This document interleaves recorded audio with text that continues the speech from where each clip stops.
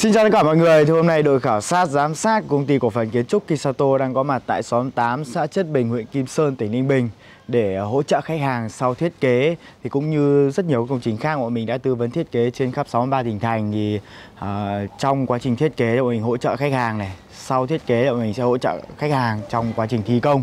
Uh, nhà bác thơ tại nơi đây thì cũng là như thế một trong những công trình quy mô rất là lớn mà công ty cổ phần kiến trúc Kisato đã kiến tạo gia đình bác Thơ.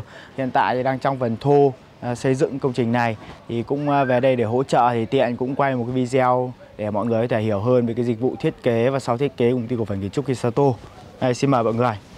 Thì uh, mời mọi người chúng ta sẽ kết hợp với những hình ảnh bọn mình uh, bay flycam để biết được cái tiến độ đang thi công hiện tại cũng như là Ờ, những cái hình ảnh phối cảnh bọn mình sẽ kết hợp trong video này để các bạn có thể hiểu hơn. Đây, mình sẽ giới thiệu mọi người một chút về uh, tổng uh, thể khuôn viên. Thì khi bọn mình về đây uh, uh, khảo sát thì gia đình có khuôn viên đất khoảng 600 mét vuông các bạn cũng tương đối là vuông vắn đúng không ạ? Nó chỉ bị xéo một chút của cái phần đường này thôi. Thì uh, yêu cầu của bác thơ đó là xây dựng cho bác một cái thứ nhất đó là cái công trình nhà thờ hai tầng bốn mái và đặc biệt đó là cái phần khung nó bằng bê tông nó là cái khung ở dưới tầng 1 đấy ạ. Bên trên tầng 2 bác dựng toàn bộ nhà bằng gỗ nha mọi người. Đó mà mình đã thiết kế rất là chi tiết đầy đủ rồi. Và thứ hai nữa đó là công trình biệt thự nhà hai tầng mái Nhật mang phong cách hiện đại. Và rất là lớn. Nên lát sẽ giới thiệu mọi người về kích thước chi tiết của hai công trình. Và ngoài ra thì cũng có những cái điểm nhấn rất là lớn từ cổng hàng rào à, bên trong khuôn viên thì sẽ có một cái hồ cá coi rất là lớn cũng như là một cái tròi lục rác nó đồng bộ với lại cái khuôn viên nhà thờ. Đó, qua hình ảnh phối cảnh các bạn có thể hiểu được. Và khu vực sân vườn phía trước cũng rất là lớn. Và cái khu vực à, đằng sau nhà thì sẽ bao gồm những cái hạng mục phụ trợ cũng như là một cái khu à, ruộng cũng tương đối là lớn nha mọi người. Với cái mặt thoáng rất là lớn. Đó. ý tưởng của bên mình đã tư vấn cho bác và thiết kế chúng ta đẩy lùi cái vị trí công trình ra khu vực phía sau. Đây. và chúng ta sẽ có những khoảng sân ở phía trước cũng rất là rộng bây giờ sẽ giới thiệu chi tiết mọi người về cái cái sản phẩm của mình đã tư vấn thiết kế cho gia đình bác thơ nhé đầu tiên nó là công trình nhà thờ hai tầng. Ở bên trên là nhà thờ gỗ bốn mái nha mọi người. Với ờ, diện tích của cái phần công trình nhà thờ diện tích mặt bằng á, sẽ rơi vào khoảng 59 mét vuông nha mọi người. Sẽ còn một chút về cái khu vực sân trước nhà thờ khoảng 5 đến 7 mét vuông. Và các bạn thấy hai cái vị trí cầu thang đây. À, đi lên cái vị trí ở phía trước sân này đã được hoàn thiện đúng không ạ? Cũng như rất là nhiều công trình nhà thờ hai tầng bốn mái ở bên trên bọn mình à, đã thiết kế và thi công trọn gói rồi đúng không ạ?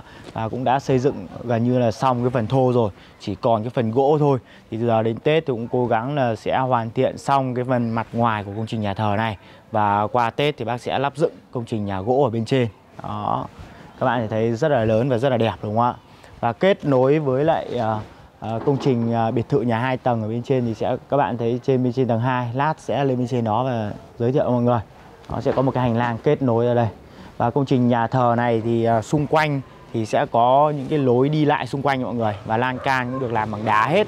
Đồng bộ các hạng mục bằng đá của mình thiết kế cho bác. À, lan can rồi lan can cái lối đi lên rồi bậc rồi tất cả hạng mục đều bằng đá hết đó.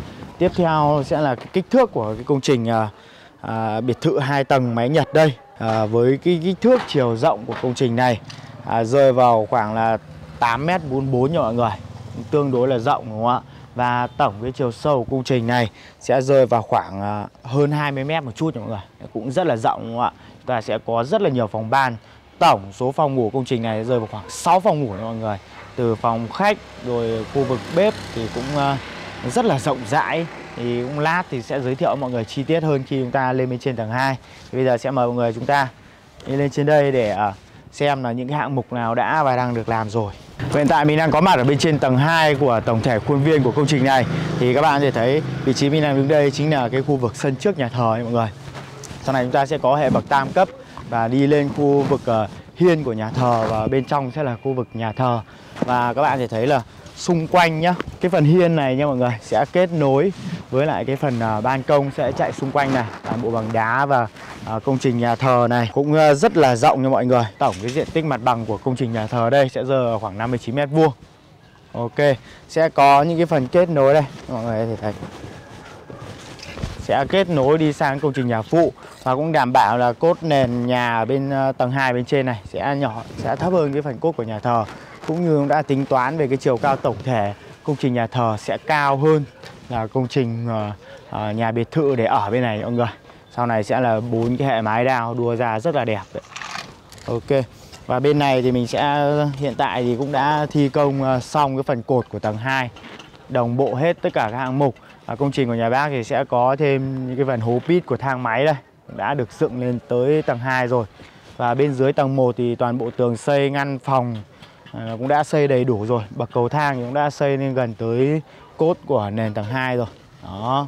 Và hiện tại mọi người cũng đang ờ, chuẩn bị cho cái quá trình ờ, xây dựng ờ, ngăn phòng ở trên tầng 2 Đấy, các bạn thấy những vị trí cột rất lớn nhá. Và sẽ giới thiệu mọi người sơ bộ về công năng công trình này. Thứ nhất là bên dưới tầng 1 Nơi chúng ta đã xây xong cái phần vách ngăn các kiểu rồi đấy ạ.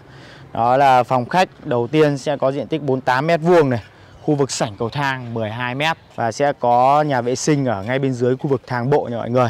Và sẽ có tiếp theo đến cái phòng ngủ master của bác Thơ. Sẽ có diện tích khoảng 23m vuông, nhà vệ sinh à, khép kín 6m vuông, có cả bồn tắm nha mọi người.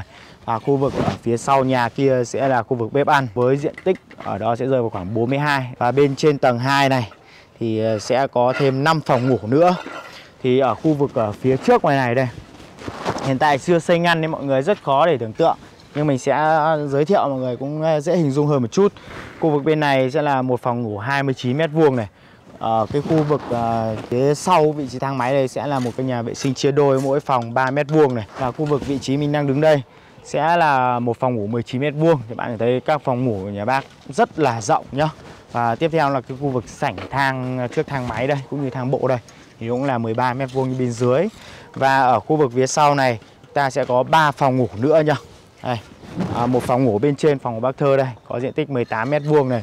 Ở phía sau kia thì cũng có một phòng ngủ 18 mét vuông nữa. Và góc này góc cạnh nhà thờ đây có 18 mét vuông nữa. Thì hôm nay về đây mình đã kiểm tra lại à, một số kích thước mà bác cũng như là bác thợ xây vẫn còn đang lăn tăn.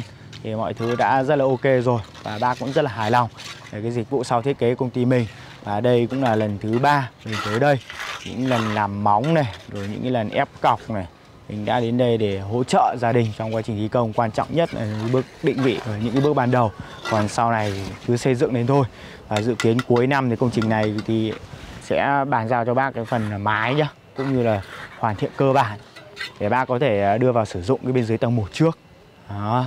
thì qua video này thì mình hy vọng mọi người có thể hiểu hơn về cái dịch vụ à, Ờ, tư vấn thiết kế và hỗ trợ thi công sau thiết kế của công ty cổ phần kiến trúc Kisato và nếu các bạn cũng đang cần một đơn vị uy tín À, làm việc à, từ tâm với những cái đội ngũ kiến trúc sư, kỹ sư giàu kinh nghiệm sáng tạo. Có thể liên hệ với công ty cổ phần kiến trúc Kisato à, theo số hotline bên dưới để công ty bọn mình sẽ kiến tạo cho mọi người những không gian sống đẳng cấp nhất phù hợp với từng gia đình và yên tâm hơn trong cái quá trình sử dụng. Ok, xin chào và hẹn gặp lại mọi người ở những video tiếp theo. Từ đường Kisato là đơn vị thiết kế và thi công từ đường nhà thờ họ thuộc top 1 cả nước với đội ngũ thiết kế và thợ thi công ngành nghề dày dặn kinh nghiệm tham gia trực tiếp vào quá trình xây dựng chúng tôi đã hoàn thành rất là nhiều dự án trên khắp 63 tỉnh thành Kisato luôn khuyến khích mọi nhân viên, mọi phòng ban ứng dụng công nghệ mới vào hoạt động nghiên cứu, sản xuất, quản lý, từ đó nâng cao hiệu quả hoạt động, chất lượng của sản phẩm dịch vụ.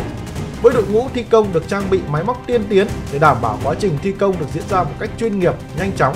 Bên cạnh đó, phương châm làm việc từ tâm và lưu nét đẹp truyền thống dân tộc, chúng tôi luôn lấy khách hàng làm trọng tâm, lấy tốc độ làm thước đo, lấy công nghệ làm bàn đạp. Cùng với sự nỗ lực học tập không ngừng, chúng tôi luôn đem đến cho khách hàng công trình đảm bảo về mặt chất lượng, tinh tế về mặt thẩm mỹ và tâm huyết trong từng dự án. Rất nhiều công trình đã được chúng tôi hoàn thành như từ đường ba gian hai mái, từ đường ba gian bốn mái, từ đường hai tầng, ba gian, 8 mái, từ đường Năm gian, từ đường chữ Đinh, từ đường chữ Quốc, từ đường chữ Nhị và hàng loạt các công trình khác được triển khai trên toàn quốc. Sự khác biệt của từ đường Kisato so với đơn vị khác đó là phong cách làm việc chuyên nghiệp, bài bản với hệ thống thiết kế thi công trọn gói đồng bộ cùng với đội ngũ tư vấn, quản lý, chuyên môn, giám sát, sáng tạo và giàu kinh nghiệm.